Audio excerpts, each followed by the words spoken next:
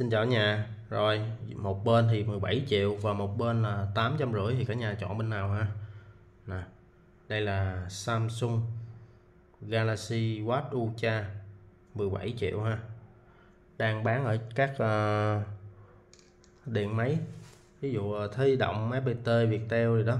Còn của em là 850 đó Samsung ờ, uh, Smartwatch Ultra ha. Đó thì ở đây chắc có không có mấy ai mà mua nổi con 17 triệu đâu cả nhà ơi. Thì thôi về mình mua mấy con này nè mình mua mình trải nghiệm ha. Cũng là full tiếng Việt cũng là nghe gọi. Đó, đầy đủ chức năng luôn. Vỏ thép màn hình AMOLED ha. Pin 5 ngày. Đó rất là nhiều chức năng luôn. Có mấy trăm mặt để mình thay đổi ha. À, nguyên siêu. Rất đẹp size 44 ha. Đó, có la bàn đó 17 triệu nè. 17 triệu. Đó.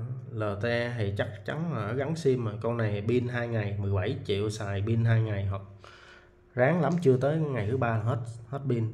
Gắn sim, con đó gắn sim. Còn con này thì nghe gọi bluetooth ha. Đó, tám trăm rưỡi. Smartwatch ultra đầy đủ chức năng luôn, đo nhịp tim, huyết áp, đường huyết luôn nha. Có đường huyết luôn, có la bàn luôn có la bàn luôn.